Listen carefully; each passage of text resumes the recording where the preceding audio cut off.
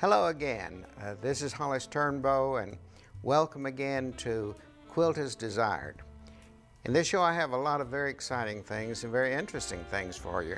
I'll talk more about the selection of the design, the, the placement of the design, uh, appropriateness of it, how to adjust the design, especially the borders, and then ultimately toward the end of the show, we'll actually cut a stencil if you should find yourself in that situation that absolutely nothing will fit or work and you want to cut your own, which a lot of people do. So stay with us. It's going to be interesting.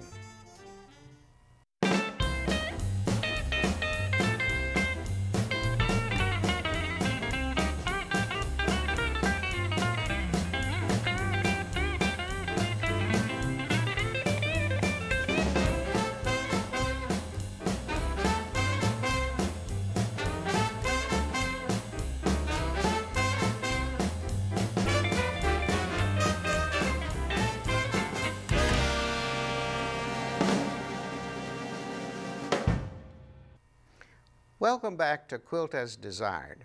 I'm Hollis Turnbow, and in this episode I want to walk deeper and deeper into this aspect of learning more about the quilting motif and quilting designs.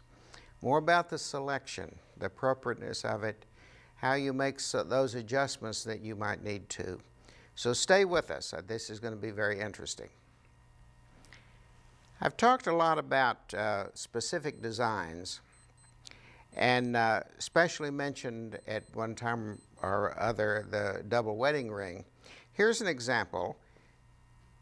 The stencils are usually made in the two most popular sizes, and that's the 15 inch ring and the 18 inch ring.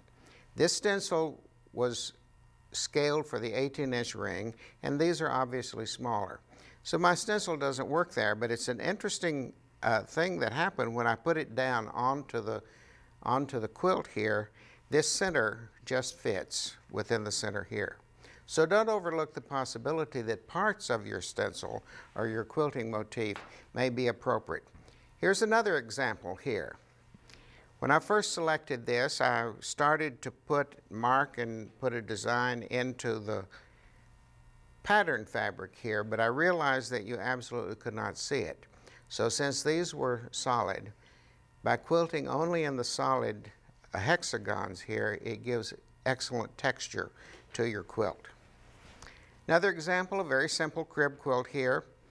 When selecting the design, think about the compatibility and the number of ways that you can repeat that design onto your uh, quilt.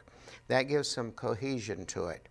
This one I made just out of strips of fabric that had hearts in it, so that became my theme then. So I happened to have a stencil, continuous line design, that was hearts, very easy to quilt. So I quilted that down into the two strips on the side. Then to carry out the compatibility theme, I took two stencils, or I took one stencil and I used the center here and just flipped it. So hearts here that I quilted, a quilting stencil, more hearts, and then I flipped it here. So I have an overall compatibility to the quilting design into this piece. A very simple quilt, but turned out to be very effective using just the one stencil. I did another one that was just uh, the rainbow stripes and trying to make a decision about how to quilt it was not quite sure how much I really wanted to do. So I had a stencil that was this leaf pattern. What I did is I drew it on paper, went to the copy machine and uh, duplicated several copies of that into the size that I thought I would use. And then I laid it across the quilt like this to see how much adjustment I might need to make to make it fit. Because when you have a pattern as you have here, adjustments are very easy because you could add or subtract just a bit within between each of these leaves and still you'll have a continuity of the design. I even considered putting a smaller one in the small stripes here, but thought that would be just a little bit more work than I wanted to do, even though it would have been a very uh, compatible uh, design. So one easy way to make an adjustment that, especially if you have a design as I have here, that's regular but easy to adjust without seeing those adjustments, then make a copy. If you can see very closely, what happened is after I did each repeat, I had to add a quarter of an inch between each one. This tells me now that when I lay this down on the quilt and start marking it, every repeat I need to add a quarter of an inch. So I would mark and just slide the stencil and continue marking. So by doing a sample like this to begin with, it helps you later when you're actually marking with the stencil.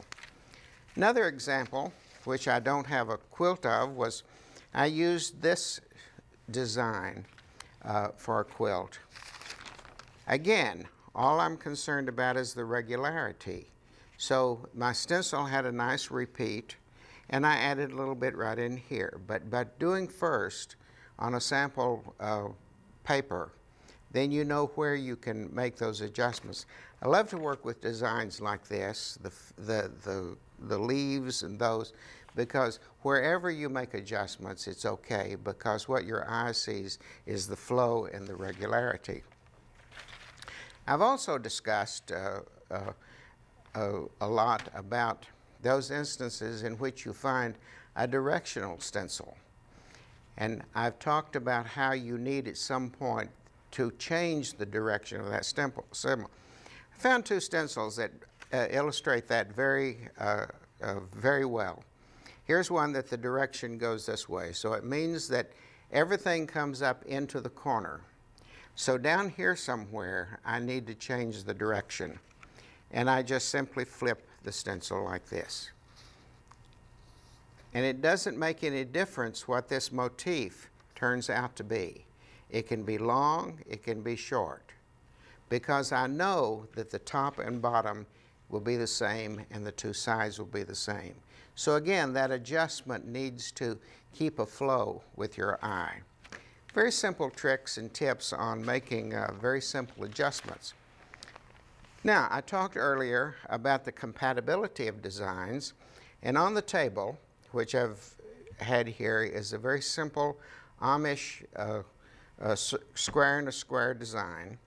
And I have a series of stencils here that I want to show how I used that in making uh, the, creating the overall design. Rather interesting, and I chuckle at myself thinking that I've designed stencils, so I'm going to do a series of stencils and then make a quilt to fit. But it didn't work that way because when I got out into bands and borders, I still had to do the same adjustment that everyone does. But let me show this and it will give you an idea of the compatibility of designs. Here's the center. Very simple stencil. Has a little hole down here. And the idea is to take, put a pin there, mark around until you have a complete circle. So very easy stencil to make a center medallion within this type quilt. Then if you'll notice here, I have a particular design in this band and in this band. And I have two stencils that illustrate that. So somewhere out in the quilt, I'm going to have the same design that you find in the center. So again, even though it's a combining a lot of designs together, I have some compatibility. So this one would go into this band here, and then this one came into this sashing strip out here. Now, what do I do with this section here? I simply took another design that I had used in the center, like this, and moved it out into this triangular section here. So again, I have some compatibility, compatibility here. And the idea is, is combining a number of different motifs. Here's another center that has a possibility. If I didn't want something as fancy as this, I could put grid in the center. But I chose to use this one because it had a little bit more class to it than this one. But then when I came to the outer uh, border, it became more of a challenge because it was a wider space. I knew that my stencil would not fit.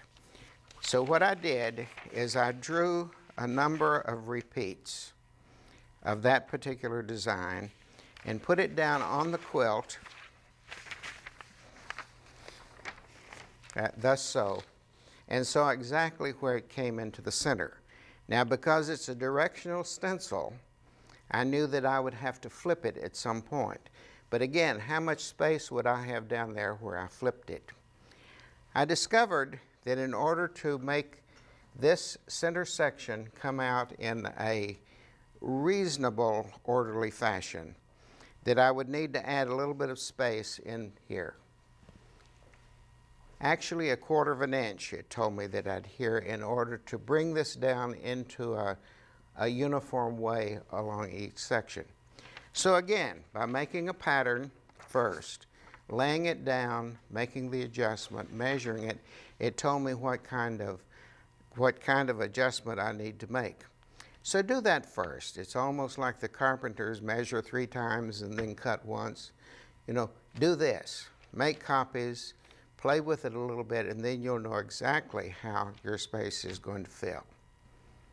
Stay with us because I want to dig a little bit deeper into the idea of quilt as desired.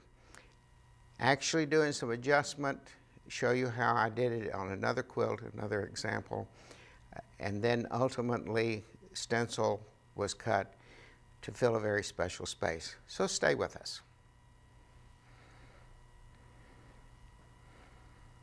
Welcome back to Quilting as Desired. I'm Hollis Turnbow, and I hope in the meantime you've been thinking about the quilting motifs and the quilting designs on your quilt.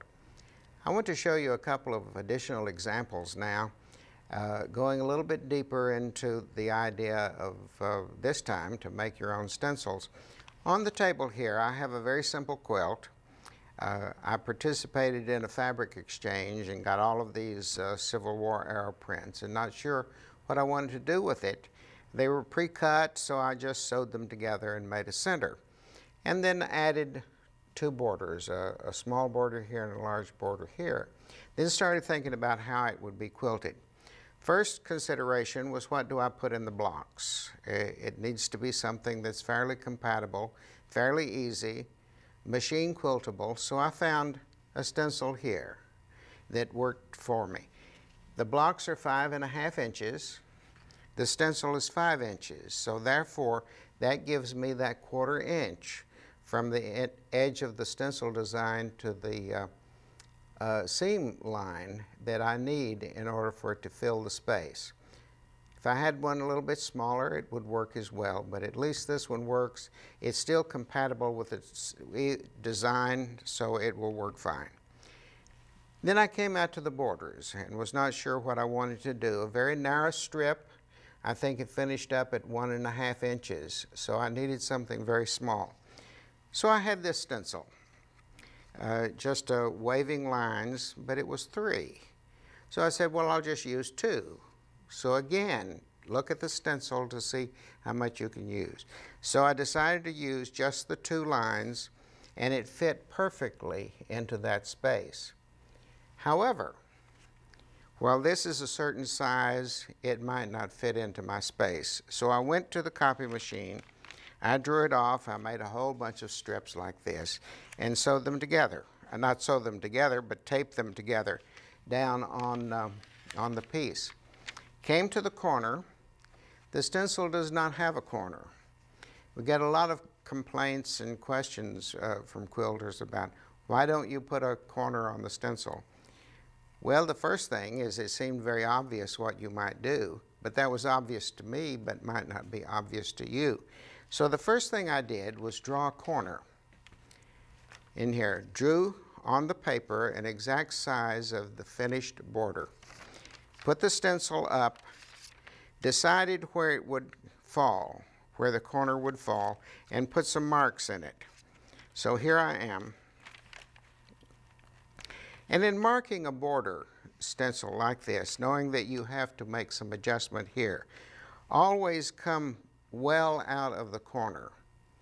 Don't do any jiggling around with the corner because that's the four consistent things your eye wants to see. So then I drew it down. I started adding uh, some other pieces to it. When I came down to the center here, here's the center point right here. I knew that I should either be down in the valley or up on top of the mountain when I reached this particular point. So either of those places would be fine for the center. And when I came down here, I discovered that I needed to add or subtract three quarters of an inch. Now that tells me how I need to adjust the stencil when I put it down. So what I did, I would put the stencil down after I drew the corner. I would mark to the valley, slide the stencil just slightly, just a smidgen bit. Went to the top, slid it just a little bit. So when I reached this point, I knew that I was either down at the bottom or up at the top, and it fit perfectly. Since I didn't have a corner, and yet I wanted all the arcs to be consistent, I drew the circle, not the circle, but the arc here, and then with my double blade knife that I used for cutting stencils, I made myself a paper stencil. Now all four, four corners are going to be consistent. So stencils, they can be made even for the very simplest part. You don't have to do a full stencil. Very simple. When I came out to the outer border, it was the same situation. I made several copies of the stencil on the copy machine. I put them, taped them together. When I brought them down to the center, again, I discovered that I needed to enlarge each of these cables here just slightly so that my diamond here would come exactly on the point. So do a lot of playing around first so that you know exactly where this adjustment needs to be made. It'll save a lot of frustration. Now I need to take just a minute and get set up on the table uh, to show you an example of where I needed to recut a new stencil because absolutely nothing in the stencil company catalog would fit the space. So I'll be right back. Welcome back. This is Hollis Turnbow again, uh, walking with you on your journey to Quilt as Desired. There are a lot of stencils out there, uh, pictures and magazines and books and all sorts of things to help you select and use and create the quilting motif. Because as the book says, it's not a quilt until it's quilted. So now we need to get down to that. There may be a situation, though, in which you simply cannot find what will fit the space or what is appropriate to your space. The little quilt here, uh, Amish type quilt, is a very good example of that. I made this as a second uh, attempt after using this pattern in another uh, quilt that I made. So it was created from a lot of stuff that I had left over. In making it, it really didn't make any difference what size these were as long as they were all consistent. But when I came down to actually finding a design that would fit into this triangle, nothing would fit, regardless of the, none of the thousand designs in the Stencil Company catalog would exactly fit there. So I got to the point that I said, well, I have to create my own. So what I did is I drew the design, the finished design of the triangle on a piece of paper.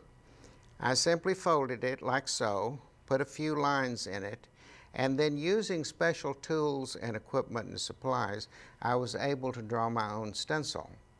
Now this becomes practical if you're going to repeat this many, many times over the course of the quilt, which I did in this instance. If you're going to do just one or two, then it might not be worth your time and expense to buy the equipment, but yet it's a good uh, tool to have. The second example, which I want to show you by actually cutting a stencil, was in my Civil War theme uh, fabric exchange that I did.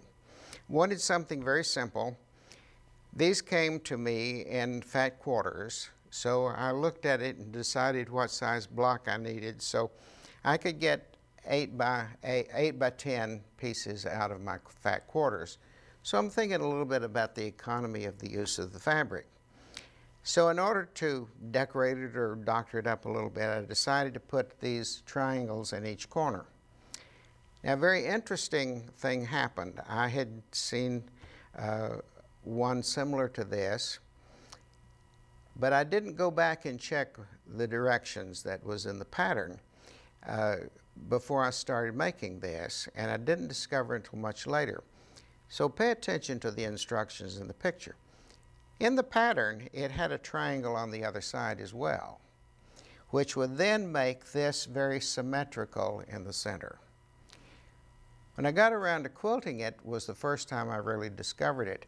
I like the design. It works fine. It's very appropriate, but it sure did get a problem, give me a problem when it came to selecting a design. So I looked around to see what might happen. I knew this was irregular. I thought I could make something in there that would be appropriate. But I found this square stencil. It's eight inches. My block is eight by 10. So I said, this motif is very appropriate to that. How will I use it? Well, this is square, that's rectangle, and it just will not work. So the first thing I did is on paper, I drew my 8 by 10 finished. I then took the stencil, I drew the X in the center so I would have some alignment marks. I put one here, lined it up, and then I put this one here to line it up to redraw a square into a rectangle and it worked. And it worked perfectly. And if you see that laying down and can imagine that quilted, it will fit perfectly in the space. Okay, I have two quilts that I was able to get into the fabric, and these are about 45 by 60, something like that. So since I have so many blocks, then it becomes very practical to make a stencil. And that's what I want to show you what to do now. It's not expensive. The only difficult thing, if I could even use that word, is when you get down to actually cutting, is learning to put equal pressure on both your blades. But the equipment you need is, of course, a design, as I have here. That's the first thing. The second thing is a regular rotary cutting mat. The third thing, this blue stencil material here called double blade knife, DBK. It's a flexible plastic. So you need something that's flexible. The hard plastic that we use for templates are just impossible to cut with the double blade knife. So you need a flexible plastic in order to do that. And then the last thing is you need a special cutting knife. This one is made by company Olfa, which makes our rotary cutters, but it has two blades here in it, and that's for cutting a channel. There was for years another one on the market, which is no longer available, made by X-Acto Company, and these may still be around. It was a craft knife. It was used in lead cutting for leaded glass. You may be able to, uh, you know, scrounge some of that, but basically no longer available. These, however, are. And your package comes with a couple of different spacing elements in here. The way that you cut is to either, you can either draw your design onto the blue plastic, the DBK plastic, or as I've done here, you can make a copy and put underneath and trace through and cut. In this case, I've chosen to do that uh, for ease. But you could take a Sharpie uh, pen and, and mark your design. And as I said earlier, the most important thing and most difficult thing for any of us to do is to keep equal pressure on both blades. I still find myself holding a, like a pencil in which you twist it a little bit to the right. So therefore the right cut is much deeper than the left cut and I have to go back and recut. So what you do is I have the design here and always cut on the same side of your line. And I recommend that that be the inside of the line because then on your outside of your cut line is the full size of your stencil. Don't cut it all outside or in the center because then your stencil will not end up the size that you want it to do. You also need on the, on the drawing to put what we call bridges because that's to hold the stencil together as you see here. These bridges are here, otherwise it's all going to fall apart. So I would put some bridges in here that would uh, enable me to have a drawing line and also to leave a space so it doesn't fall apart. The next thing you do is I would practice a little bit, perhaps on the side, or a good practice paper is just regular freezer paper because it's, it's a little bit thicker. So I've practiced now. I feel confident that I'm able to do it. So I'll put the blade down, make sure that I have equal pressure on both blades, and then I start cutting. And I'll cut down, and the recommendation is cut about two inches and then put your bridge in. And the problem is of, of not putting enough bridges in is the problem that I have here. Because the plastic tends to roll, I don't, it doesn't adhere well to the fabric. So I have too much flopping going on in here. I should have put a bridge in the center. So bridge sufficiently so that you'll be able to have a very stable stencil when you come around to do it. So I've done one, then I leave a little bridge and I come down and I cut the next one and I need to leave a bridge so that it doesn't cut into that. Now if I've been successful, I've cut both pieces, and if you see there, I indeed have.